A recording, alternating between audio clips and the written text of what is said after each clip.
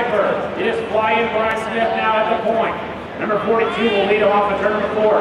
Four laps to earn a paycheck here tonight. Dash for cash on the racetrack. We'll let you listen to him down the front side.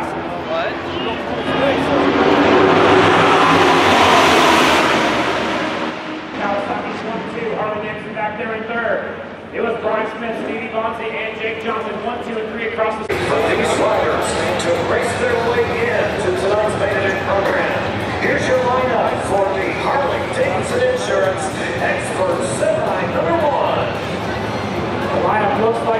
Ladies and gentlemen, on the pole from racing lady, number 15, in Chesa.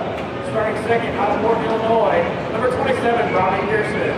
Starting third from Westfield, New York, number 20, Matt White. First five lights. We'll see if that is the case here tonight. If you're watching on your smartphone, you can see the live timing and scoring. Keep track of it as I do up here in the tower.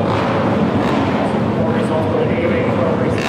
There's Pro Racing. Pro.com. Pro singles main event. Kelly Bell tells him 12 laps to get it done. Ryan Mills pulls up the line. The moto board is up. It is time to go racing. Main event style. First yellow light is on Christmas tree. Second yellow light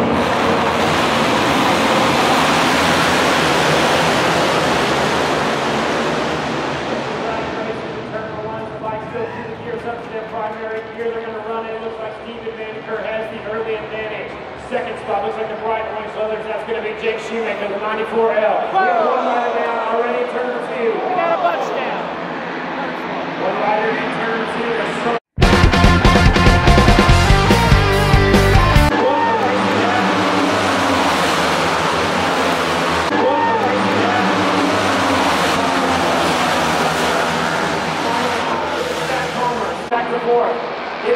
Hannaford. Now somebody stretches out a big lead right in the middle of three, four. Looks like he never shut off the throttle. Here they come off of the final turn. The Lucas Oil 80 mile pro singles coming to the checkered flag. Who's it going to be?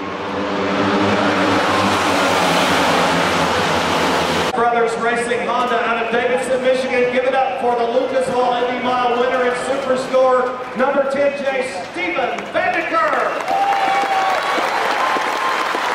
Come out here, young man. We're ready to see.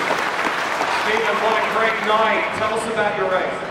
Oh, it was an awesome race. I knew I had to get a good start, and I uh, I did. And I knew there was going to be a bunch of passing, and there there was. So man, I had my work cut out for me. I didn't know who was going to end up in the lead, and uh, uh, yeah, I just we just kept going back and forth, and uh, I, I knew it was a toss-up whether I should lead it off or not, and I just went for it. So it didn't pay off in Sacramento. I got second, but this this time it paid off.